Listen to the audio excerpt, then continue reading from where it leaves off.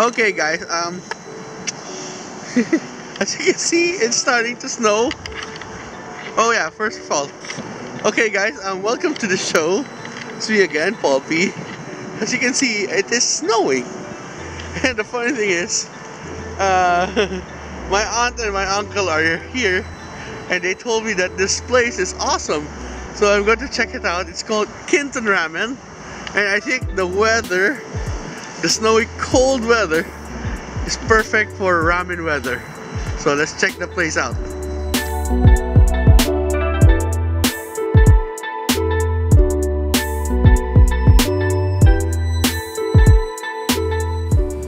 Okay guys, I'm here in Kinton Ramen right now and they have a special. This is their December special. It's technically a tonkotsu style broth and it's pork based so that's one thing I love. But I ordered extra thick noodles and an extra set of noodles and a bit of karaage. The karaage is basically the Japanese style fried chicken. And this is a pork with anchovy style broth. I'm gonna expect this to be full flavored and full of umami. So after coming out from the cold uh, coming in from the cold this is gonna be an awesome meal. So let's wait for my orders and I'll show it to you. See ya. Okay guys, uh, my order has arrived and here's what I got. Check out this ramen. It's a tonkotsu style broth which is infused with anchovy and pork. And their perfect account to this is the chicken karaage. And look at that egg. I, I have a feeling this is gonna be a gooey egg and it's gonna be delicious. Okay? So we'll start with the soup first. Okay? Okay, guys. Uh, let's start with the soup. Look at that. Oh, it's really thick, guys. Really thick soup. We'll give it a try.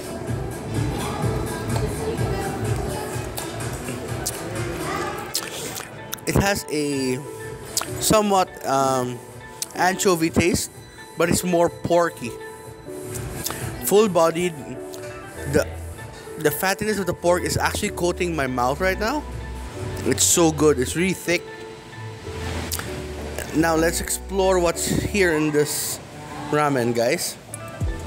As usual, we have the nori. You can see here. The fish cake, also known as a naruto, shoyu. Oh no, chashu. I mean, sorry, chashu, and this marinated egg. And they have a single anchovy and negi or scallions. Now let's slice this open. Mm-hmm.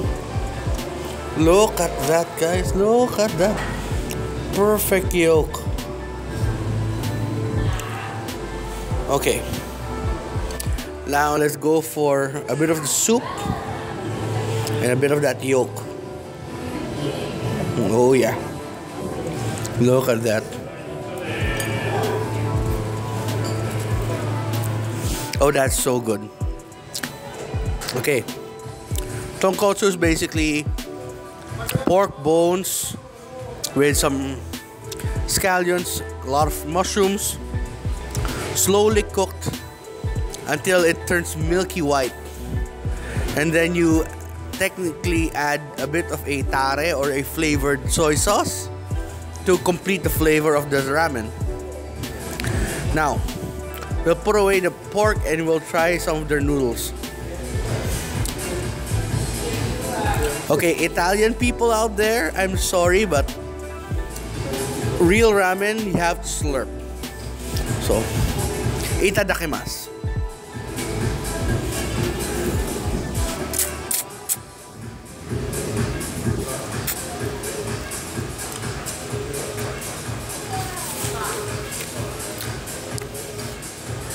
The noodles are firm, not too not too chewy, just right. And it's actually the soup coats the noodles very well. It, there's something to it. There's um, it has the right gumminess to it, and I know it's um, what do you call this? It is a uh, in Tagalog we call it miki noodles. It's basically lye or egg noodles, and we'll now give a try of their pork.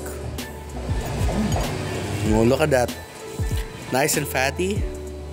Oh, by the way, fat is flavor, guys. Remember that fat is flavor. Look at that. Look at that.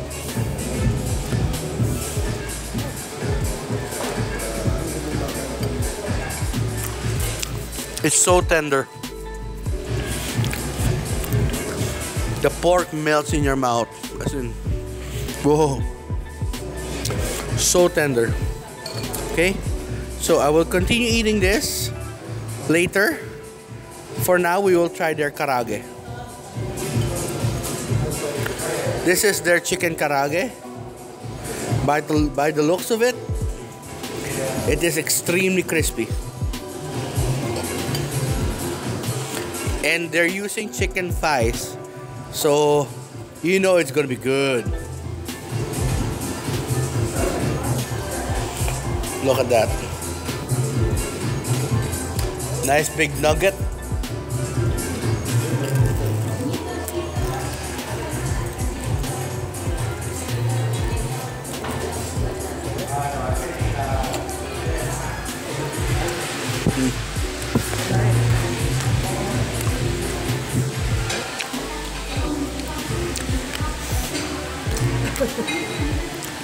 Crunchy on the outside, juicy on the inside. It's still steaming. Now that is good karaage. We'll try it with a bit of their mayonnaise.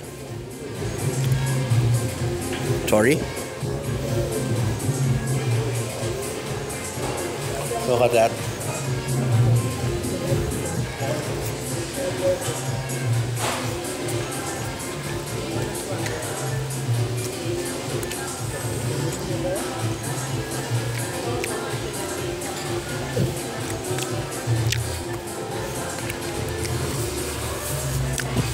One of the best chicken karaages I've had. I'm getting teary eyed not because it's hot, but it's really that good. So I will now continue eating my ramen and I'll give you the review afterwards. See ya. Okay, guys, uh, as you can see, this is an inductee of the Clean Plate Club. It's gone. It's that good. Usually I would just take a bite and bring the rest of the food home. But this time, this was really good. Okay? So, let's base it on the five criteria location, ambiance, food, service, and price. We start with location. It's easily accessible here in Kennedy Commons in Scarborough. Sorry, I have to burp. burping is a sign that you are satisfied, okay? So, it's found in Kennedy Commons. It's actually near the first Jollibee here in Toronto. So, for the Filipinos there, you have to pass by here. Okay? Second, I start with um, uh, I give the place 5 out of 5. Easily accessible because okay? How about uh, ambiance? Ambiance music is a bit loud, which is actually okay makes you concentrate more on the food. The place is roomy and they don't have chairs that have armrests, so it's fat people friendly. So I give that already a 5 out of 5. Now, let's talk about the food. Well, let's start with service first. Sorry. Service.